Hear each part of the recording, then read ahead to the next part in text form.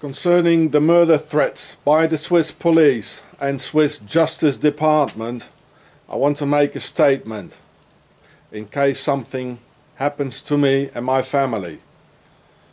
I would never commit suicide, nor hurt anyone else.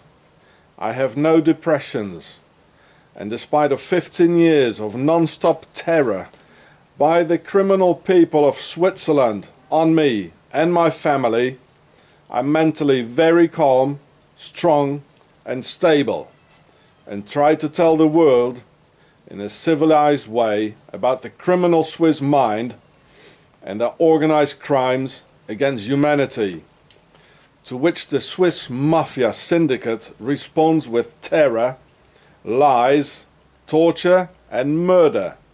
So in case these Swiss monsters use me in a false flag shooting, make me disappear, or suicide me, I tell you now, it wasn't me, because I love my children who need me.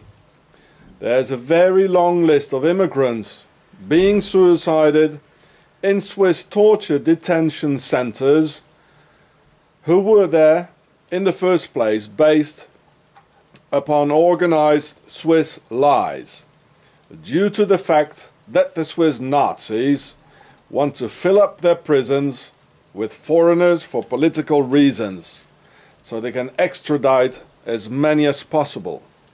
So me, Sean Hross of the Pharaoh Show and the Octagon series made this statement that I would never harm myself or anybody else in case something happens to me. It's very bad. Please somebody do something. I know now there are no human rights and um, it's just the Middle Ages.